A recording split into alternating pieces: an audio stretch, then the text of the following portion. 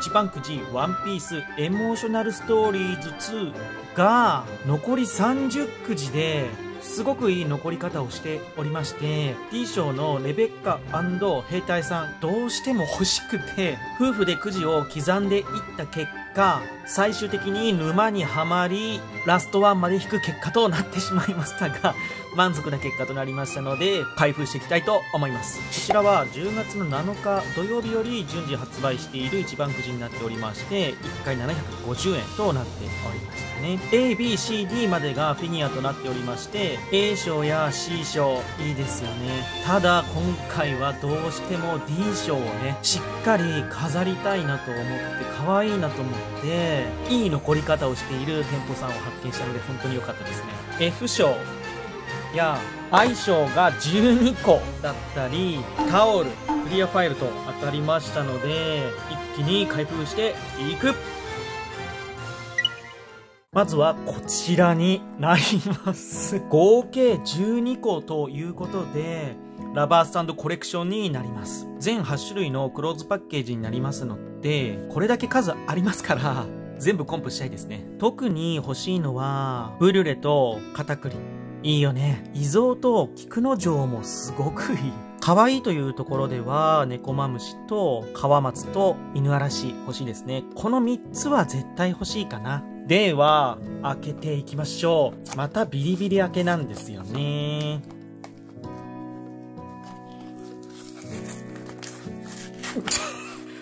え？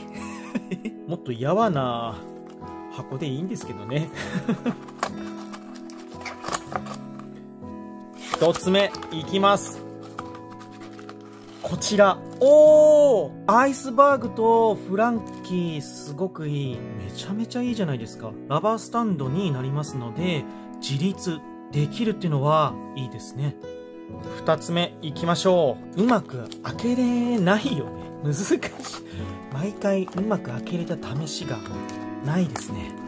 かぶるには早いぞおーいいじゃないですかおでんをつついでるところもまたいいし、この3キャラの幼少期すごい可愛い。背面はこちら、バンダイスプリエイツという形と、コピーライトが記載されているというところですね。すごい可愛いですね。3つ目行きましょう。1つも綺麗に開けれないね。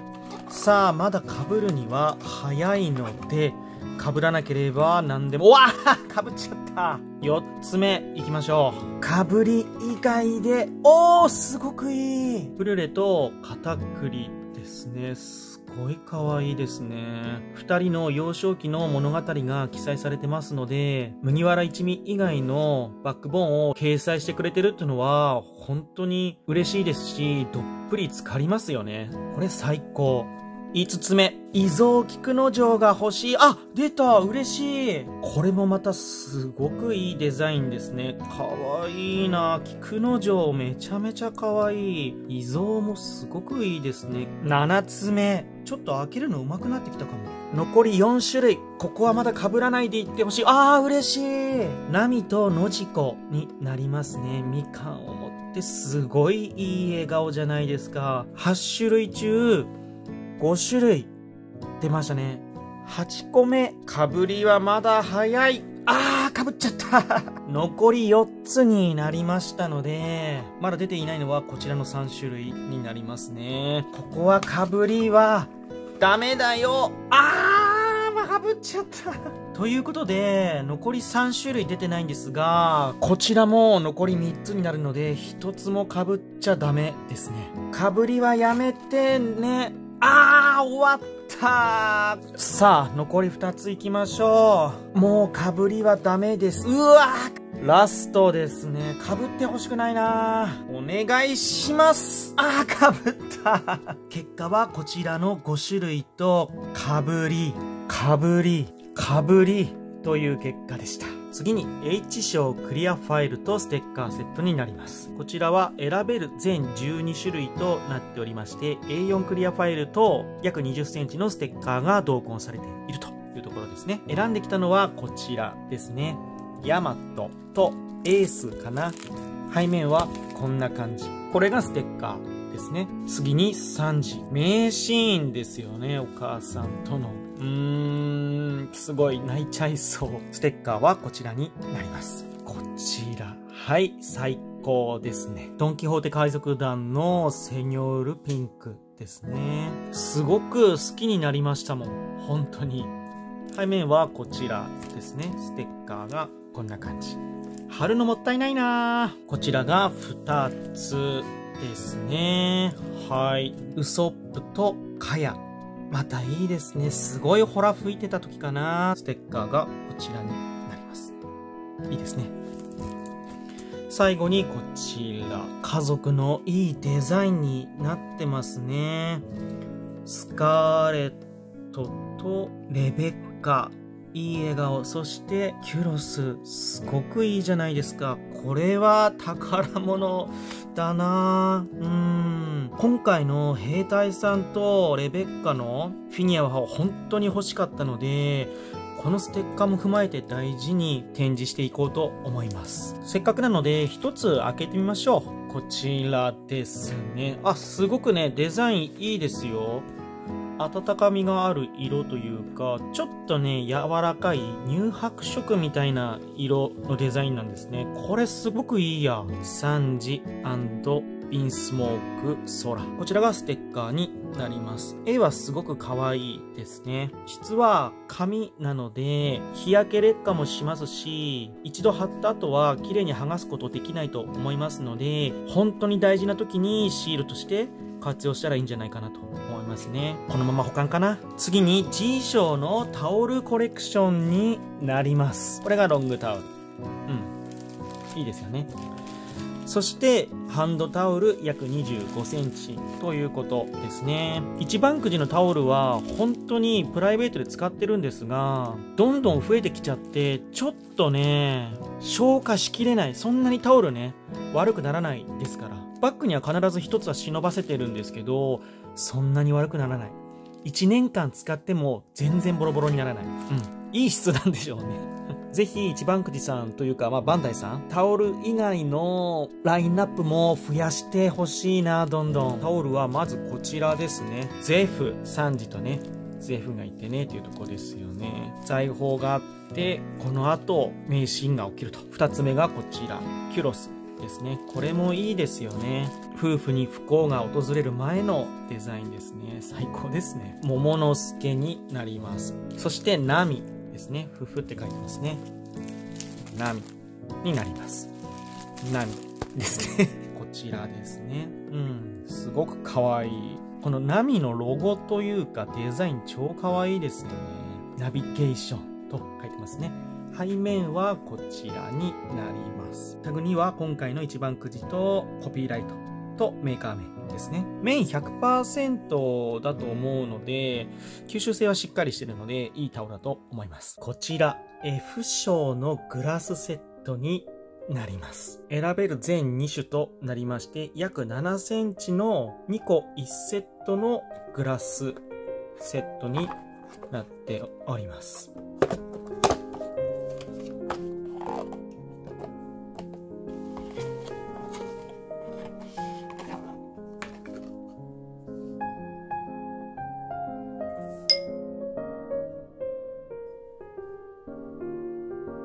そこに色がついてて、すごくいいですね。ブランデーとか、これで飲みたいな。すごくいい。こちらは紫になっているんですよ。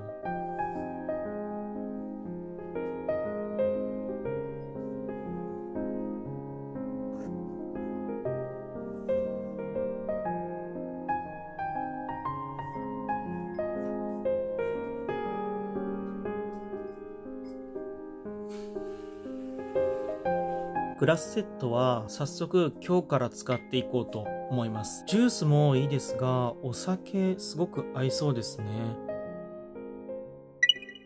次にフィニアになります。D 賞レベッカ兵隊さんですね。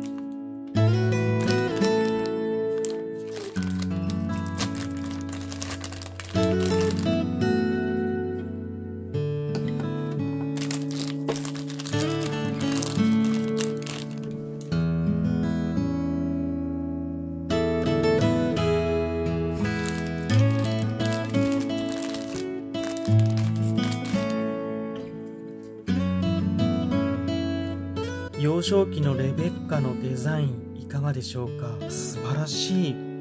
笑顔じゃないでしょうか。サイズはレベッカが約8.5センチとなりますがあまり小ささは感じないですね。ちょうどいい作りかな。洋服はグラデーションがかかっておりますし爪のデザインなんかも細かく調整されててすごくいいと思いますね。台座に固定するための突起もちょっと大きいですがその分台座がすごくいい作りになってますのでこれは楽しみですね。兵隊さんキュロスですね。これはまたいいですね。ブリキ感というか待望じゃないでしょうか。すごくいい。折れてるところとかもねすごくいいデザインになってますね。手の形なんかもおもちゃらしい。おもちゃなんですけどね全部。すごくいい作りになってますね。銃は少しこう動くような作りになってますね。手のひらに乗せているような作りになってます。これもすごくいいですね。表情もすごくいいですね。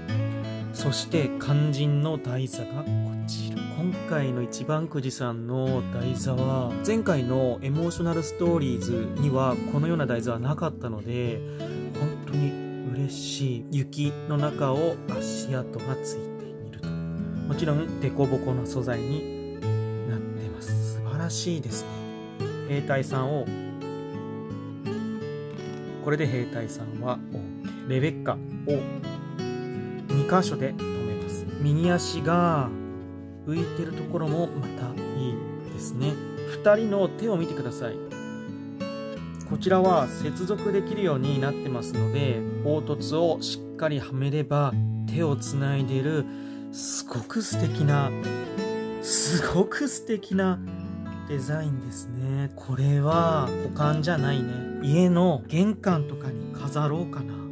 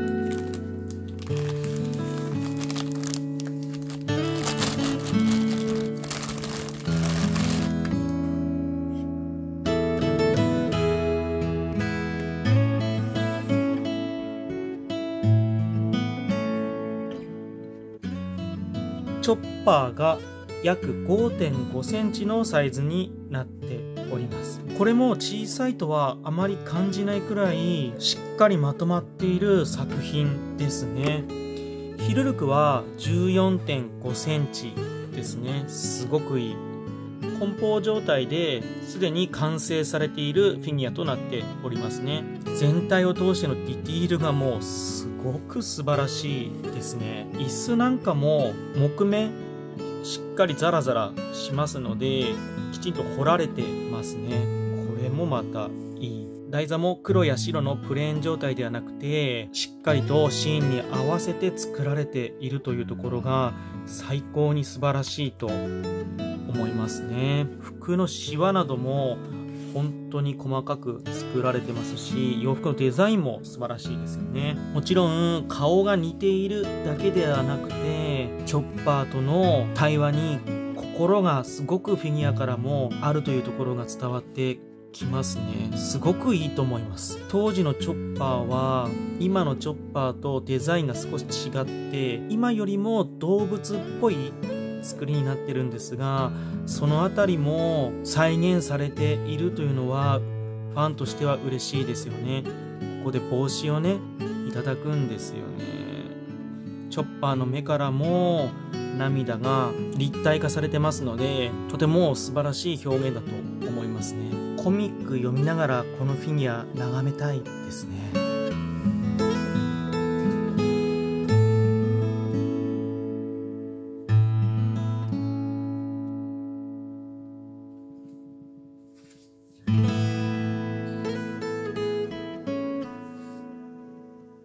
サイズ感は全体の世界観に合わせて調整されているところもいいですよね。最後にこちらになります。ナミノジコベルメールラストワンバージョンとなります。沼った代償でラストワンまで弾けたということは、最終的には御の字だったのかもしれませんね。A 章と比較すると、表情違いになりますね。A 章の会話の後の反応みたいなものなんでしょうね。では早速開封していきたいと思います。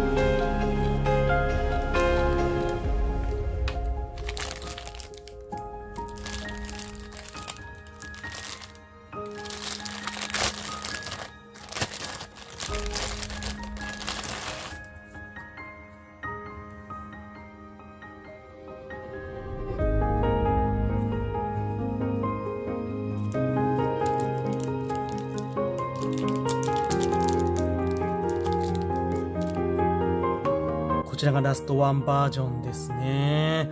これもまたデザインが素晴らしいですね。ナミノジコベルメールさんのこの笑顔の表情がまず本当に素晴らしい。見てください、このナミの笑顔。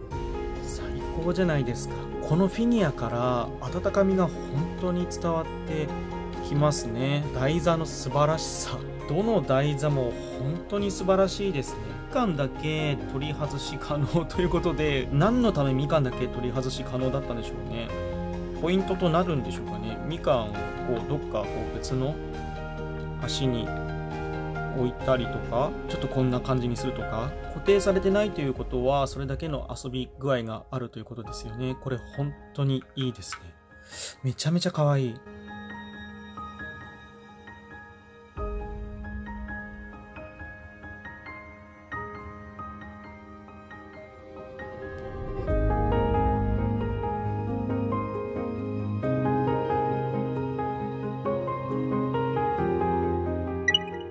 今回は一番くじワンピースエモーショナルストーリーズ2をいい残り具合から沼ってはしまいましたが、ラストワン賞を手に入れることができたので、御の字かなというところでございました。とても大切なシーンをフィギュアから心が伝わるような作品だったなと感じましたね。最後までご視聴いただきましてありがとうございました。よかったらチャンネル登録と高評価よろしくお願いいたします。ではまた別の動画でお会いしましょう。バイバイ。